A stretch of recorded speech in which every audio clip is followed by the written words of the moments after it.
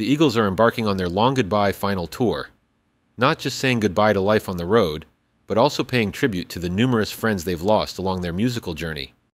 Over the past two weekends, the iconic band took the stage at the Kia Forum in Inglewood, California, for four nights of emotional performances, starting on January 5th and 6th and concluding this past Friday and Saturday.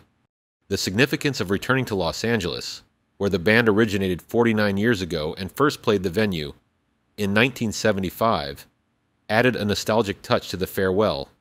Don Henley, one of the founding members, expressed the band's connection to the Forum, referring to it as their home field and acknowledging the venue's improvements over the years.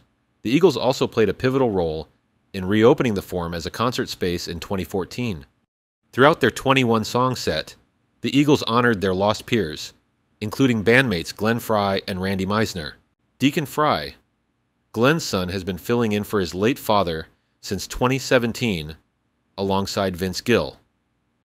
Meisner, a founding member who left the band in 1976, passed away in the summer of the previous year. The band dedicated Take It to the Limit to the memory of Randy Meisner, featuring Gill on vocals. Tributes to Glenn Frey were seamlessly integrated whenever Deacon and Gill took the lead on his signature songs.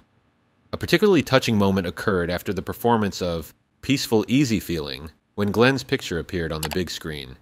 In an unexpected tribute, Henley announced a journey to the mid 80s, dedicating the next song to the late Jimmy Buffett. The band then played Henley's 1984 solo hit, The Boys of Summer, in honor of the legendary Margaritaville singer.